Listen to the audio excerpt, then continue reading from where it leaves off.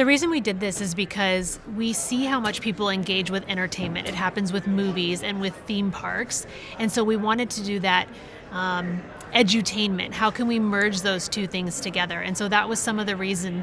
And we didn't know. We had to start piloting it to see how it would go, but we've seen incredible learning outcomes. We've done some testing and some pilot groups over the last few months, and students are improving two letter grades. So that would be a student that would have otherwise failed biology is now getting a C, and somebody that was getting a C is now getting an A, and somebody that was getting an A is mastering in their field. And so we're very excited about how these immersive, engaging experiences can transform the classroom.